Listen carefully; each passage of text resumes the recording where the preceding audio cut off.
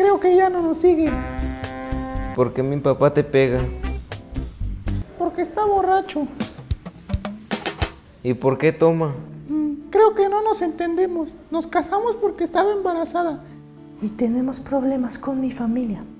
Y a mis papás no les cae bien tu papá. Ah, por eso sale con sus amigos a beber. Por desobligado y vago. Mi papá siempre dice que las obligaciones no es lo suyo.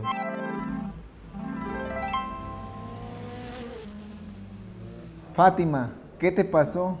¿Estás bien? Pues sí. Bueno, la verdad es que Julián me volvió a pegar.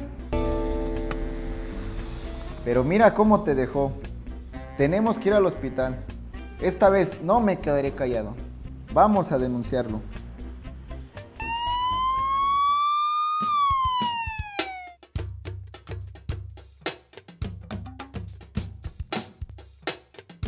¿Todo bien, señora?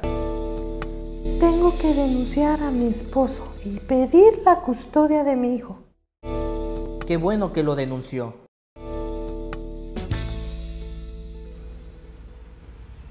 Después de estar encerrado, aprendí a valorarme mucho.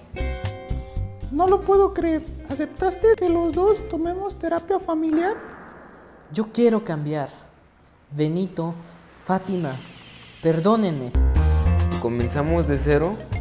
Las, Las personas, personas pueden cambiar. cambiar. Te Te perdonamos. perdonamos.